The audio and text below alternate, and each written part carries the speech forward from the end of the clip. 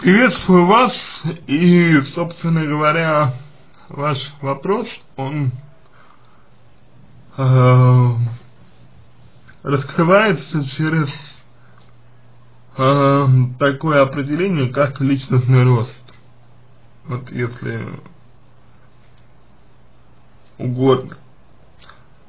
Личностный рост – это развитие в себе таких, таких качеств, как самодостаточность, самобытность, уверенность в себе, э, значит, умение принимать себя, э, умение оставаться с собой наедине, э, умение использовать уединение, э, в отличие от одиночества, являющихся, являющихся добровольной формой, э, скажем, временной изоляции себя от других, вот, нахождение плюсов в уединении и так далее. И по сути дела, если мы сейчас говорим э, с точки зрения другой уже позиции, речь, речь идет о том, чтобы вы э, увидели, для чего вам нужно общение людей. Вот. А, значит, для чего вам нужно общение людей, что оно вам дает? Это самое общение людей.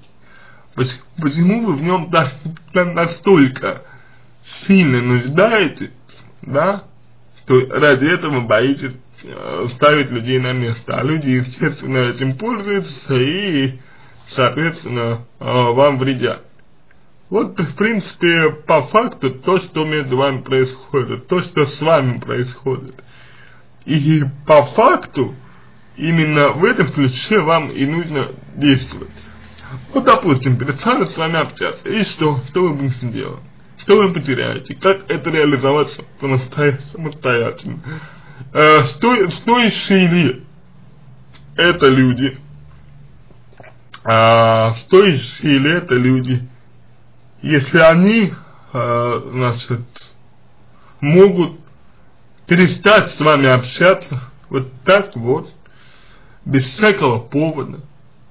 Э, стоящие ли это люди, если они могут прекратить с вами общение, э, ну, только из-за того, что вы поставили их на место, то есть защитили себя, да, защитили свои интересы.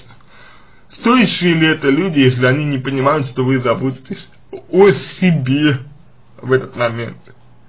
Зачем вам такие люди нужны? По каким критериям вы, вы их выбираете? Неужели вы не считаете себя, да, эм, значит, эм, так, ну вы непонятно, мужчина или, или женщина, а, неужели вы считаете, не, не считаете себя достойным человеком для более качественного общения, для более высокоуровневого общения? Если нет, если не считаете себя более достойным человеком, то почему нет? А если считаете себя достойным в глубине души, то почему ничего не делаете для этого, чтобы, ну, чтобы реализовать это? Вот, собственно, такие вот вопросы вам и нужно, э, значит, э, себе задать. Это и есть личностный рост. Далее, э, значит, вы боитесь, что люди перестанут общаться с вами. Собственно говоря, проблема может идти и в том числе и с детства. То есть это вот страх определенного одиночества, страх определенного определенной изоляции, определенной беспомощности. И вполне возможно, что имеет смысл проработать именно то, что было с вами в детстве. Но я рекомендую вам спрашивать себя так. А, вы боитесь чтобы с вами перестанут общаться. Но на данный момент общаются, общаются, значит ничего не произошло, нет, чего бояться.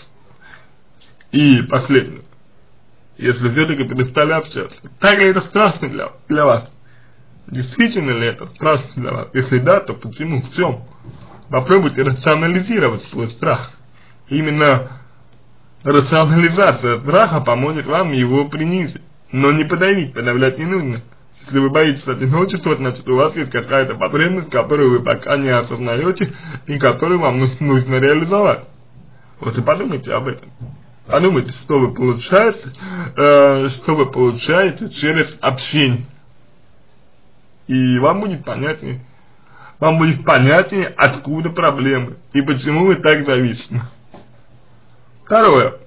Личные границы. Вы говорите, что если поставить человека на место, он перестанет общаться. То есть вы не ставите людей на место, оправдывая себя тем, что вы боитесь, э, ну, боитесь, что он перестанет с вами общаться. А может быть дело не в этом, может быть вы просто боитесь поставить людей на место, может быть вы не уверены в себе, ну и неуверенность в себе понятно, она есть, но может быть она проявляется и так, на более глубинном уровне. То есть вы представляете все так, что причиной является ваш страх, э, что с вами перестанут общаться. Но может быть, э, страх, что с вами перестанут общаться, это не причина, а это следствие вашей неуверенности в себе. Ведь с вами-то общаются, потому что вы интересный человек, а если вы ставите людей на место, вы же не, не, не перестаете быть интересным человеком, правильно? Значит, значит, вы считаете себя человеком, с которым можно перестать общаться. Вопрос в том, почему. Вот об этом тоже стоит подумать. На этом все. Надеюсь, что помог вам. Если какие-то вопросы остались, обращайтесь в личку, помогу. Если вам понравился мой ответ, буду благодарен, если сделаете его лучшим. Желаю вам всего самого доброго и удачи.